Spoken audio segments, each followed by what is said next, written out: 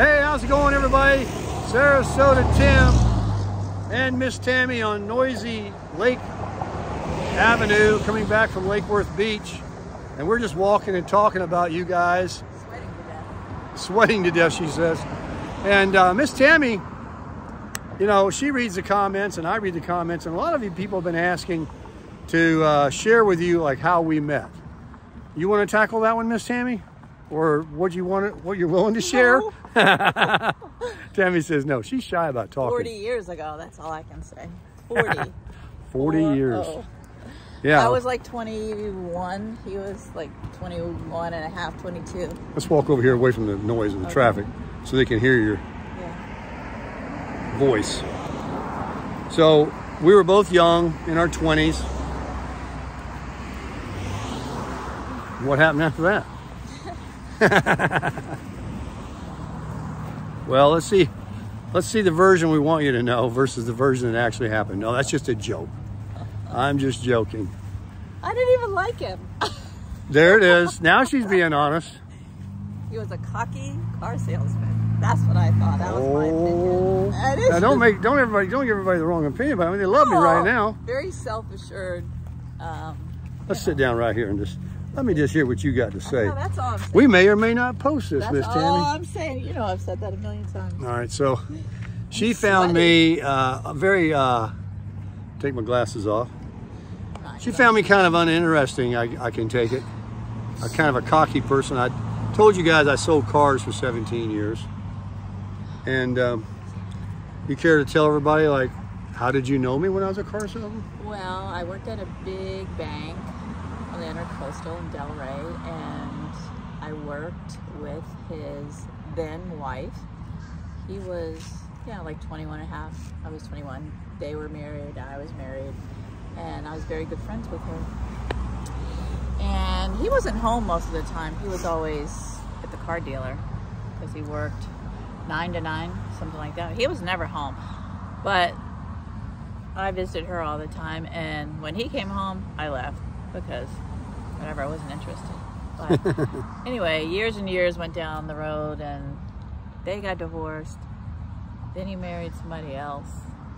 Sorry to keep. Yeah, they we weren't they've, even friends. they've heard the story. We uh, weren't Tammy. even in. We weren't even in touch. No, we, we were out of touch for quite a while during those times. And then he's just come visit me and my family lots of times. He's with my with my new then next wife. Yeah, a couple of visits, not- He had a next wife, and then they got divorced, and he had a girlfriend. Yeah. And he brought, he brought her to see me and my family visit because we were just friends. Yeah, Um, let me try to fill in the blank there. What but he's known me since before I had any children, and my oldest child would be like 40. She's going to be 40? No, I'm talking about my oldest Oh. child would have been. Yes, Oh uh. Tammy did have a child that passed at a very very young age with a, with a terrible illness. But uh, we won't go into that. The fact is, I have known Miss Tammy prior to any of her children being born. For example, her daughter, who I cleaned her Cadillac Escalade yesterday, who's done very well for herself. All her children, if I can brag on Miss Tammy, are all college educated. They're all doing very well in their careers. And two are married, one is single. And when they were growing up, I was kind of like what a, a kind of an uncle, you know, to them. Uh, just like I'm kind of the honorary grandfather, Pop Tim, to uh, Savannah and Skylar, who we introduced you to yesterday. And they love me to death.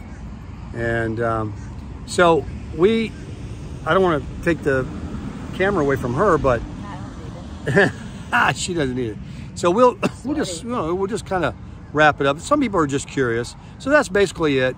She worked with an ex-wife of mine, and then after uh, time went by, I started visiting, and they kind of took a shine to me. And when they started having kids, I was fun with for the kids, so they invited me to come around more often, and I did.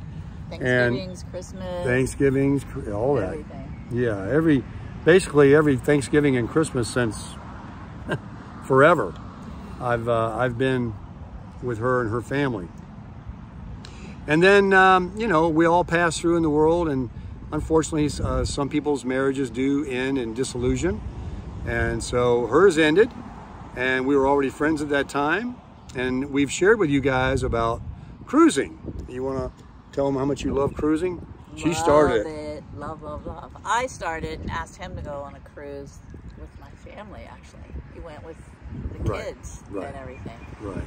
And then he went on another one with me and the kids.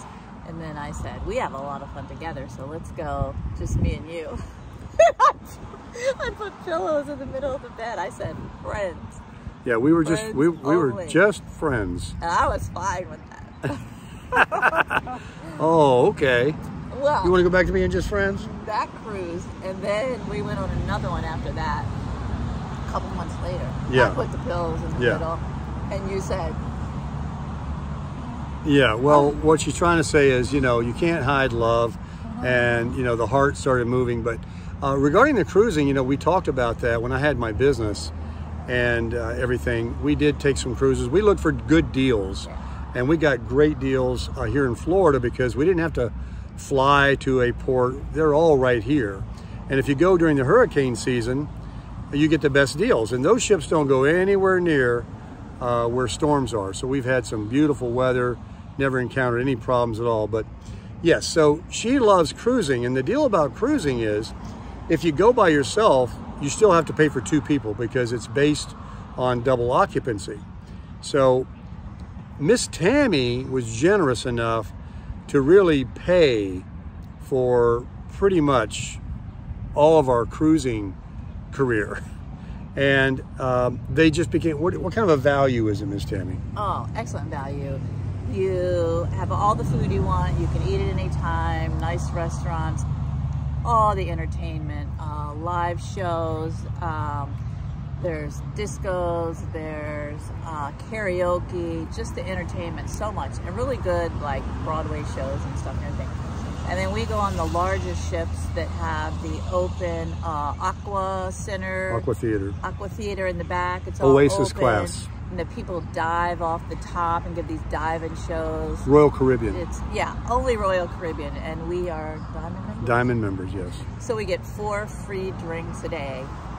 Um, that means alcohol or Coke. right, they charge you right. for Coke. When I did drink, I took advantage of that. Yeah, when you did And drink, she's not a very big drinker, so I took I would drink. probably. like- I would drink one. He would I would drink get her other three. But yeah, we're diamond members. But what she's trying to say that what we tell everybody about cruising is we very much promote it because as a minimalist, okay, before I hear the comments, you can cruise and you go to three different countries. You don't have to rent a car. You don't have to go out at a resort if you travel by airplane or travel somewhere in your car and then go find somewhere to eat. And you only get the one entree on a cruise ship. If you want two steaks or two lobster tails or three shrimp cocktails or two desserts, you can just keep getting it. There's no limit. And the buffets and the food is free. So where are you going to go? What you had No, some- I said we got uh, deals for Florida residents, senior citizen, Senior over 55. cruise before, all kind of discounts. Yeah, previous passenger is called. Crown and Anchor, and you get these discounts add up. And we didn't have to fly anywhere. We just drive there, park the car. But what it worked out to, what I'm trying to say is, a room today costs $150 for an average room. We paid, we, we, we wouldn't even cruise unless we could get a cruise that worked out to about $150 per day per person. And for that, we got a seven day cruise, twice a day maid service, all the food we wanted to eat, uh, world class entertainment. We didn't have to rent a car. We didn't have to worry about driving somewhere uh, after drinking. We didn't have to pay for these shows. I mean, you're not going to go anywhere. You're going to get a room for $150 and you're like, okay, where are we going to go eat? Where's some entertainment? Then you're going to be out driving around traffic. And those people in the traffic, they're not on the same page as you are. When you walk around the cruise ship, everyone is happy. Everyone's doing the same thing. It is fantastic. What, 11, 12 swimming pools? Oh yeah, and The if you're, you're promenade. at the pool and you want something to drink or eat, they come around. They'll bring it to you. How do they treat you? Awesome. They bend over backwards to do everything for you. Make you feel so rich, If you say like royalty. the bed is not soft enough, they'll come in put extra things under it and Yep. to make it soft. Anything to make you happy, anything. we want ice all the time, extra towels. They do it. So as you can, as you can, I want to go. she's ready to go now. And just talking about it gets us excited. But that was probably, uh, as you can glean, what attracted her and I together. Like some people, they meet at their same job. Some people are in motorcycling or at the gym or different kinds of like-minded uh, recreational things. Well, when we started cruising and she invited me to come along, we both shared the same enthusiasm about it and enjoying those things together and being in such a fun, happy, uplifting, positive atmosphere where they do nothing but make you feel good. There's nothing that can bring you down. Great. We were like, hey, let's do this again. And the more time you spend with somebody, you know. So we ended up hitting off and look, she's easy on the eyes. Come on. What's what's not hard to like about her, right?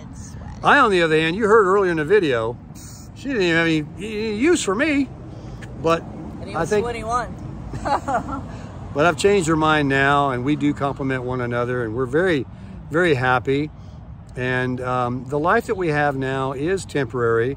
Uh, we do realize in the comments, a lot of you talk about I'm in the camper and she's got the mother-in-law suite at her daughters. It's because of the of the economy and what happened, and I lost my business and these kind of things. But we're working, and she's working, and we're saving, and we're minimalist, and we're not We lived together for what, six years? Oh yeah, we were together for six years in Sarasota, you know, before moving a, uh, here to Palm Beach County in a condo. in a condo. I think I've talked about it. So anyway, uh, that's going to be the future. You guys will be firsthand to know because as our life develops, I guess the YouTube channel is going to continue to share with you uh, about our lives and what we're doing and things that we are enjoying at retired. Uh, Miss Tammy gets Social Security. I get Social Security. We're both earning. And on that, let me just add this a little bit off topic. People ask about the earnings limit. You know, it is 21,240. A few comments were lower than that. And remember, even the 21,240 is the adjusted gross income you're allowed to make. If you make 40,000, but you can get your income down because you're self-employed uh, in some kind of business or, you know, you work for, uh, you know, you're a 1099 person and you can deduct a lot of things, that is what your net income has to be. That does not mean, unless you're a W-2 person, and then of course you've got the standard deduction too. So don't think that you can't survive on Social Security at 62 years old, no matter what they give you, unless it's just nothing. Uh, that that $700 you're going to get more at 65 is going to make that big a difference. The big difference to make it is what you're going to make working. And working is good. It's healthy. I don't mean setting tile and digging ditches. I mean doing what you like to do for half as often as you need to do it because you've got this other money coming in. So on that note, what are we going to do today, Miss Tammy? Crush it. Crush it!